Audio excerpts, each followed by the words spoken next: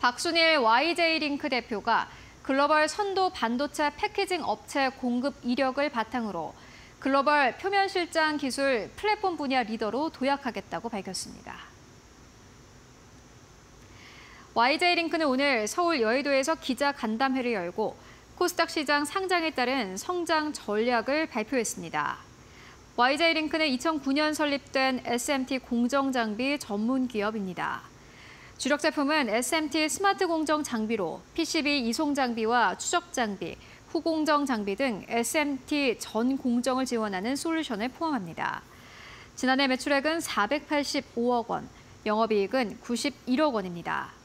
YJ링크는 오는 25일부터 내달 2일까지 기관 투자자 대상 수요 예측을 진행한 뒤 다음 달 10에서 11일 이틀간 일반 청약을 이어갑니다. 10월 상장 예정이며 주관사는 KB증권입니다.